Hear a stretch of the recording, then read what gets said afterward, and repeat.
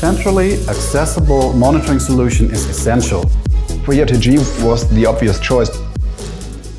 One of the solutions to the climate crisis seems to be enhanced weathering, a method to draw carbon dioxide from the atmosphere and put it into the ground.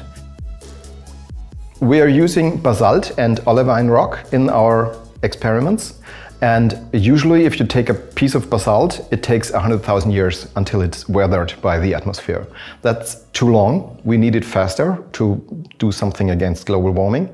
That's the reason why we are grinding the basalt into very, very fine a powder actually, and we spread this powder on the cropland.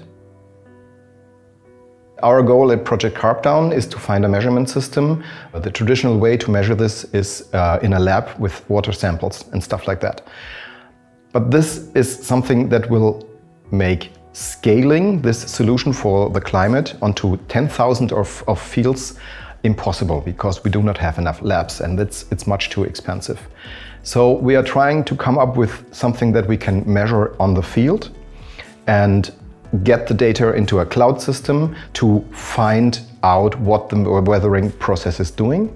And that is exactly what monitoring is. You get data from somewhere, collect the data and then analyze it later. Generally, we run many different devices from different manufacturers and, and, different forms of connectivity. And on top of that, uh, there are different protocols we have to deal with.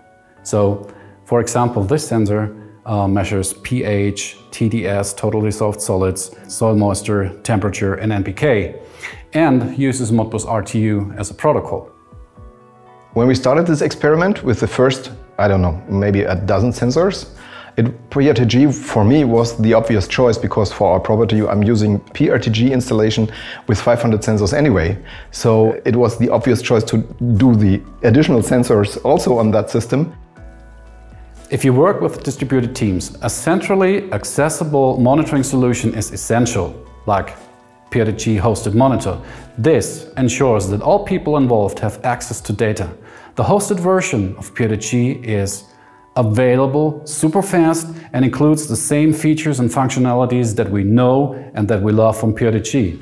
In the end, we need to understand and interpret the information that we have gained from lab experiments and from the sensors that are built into the soil.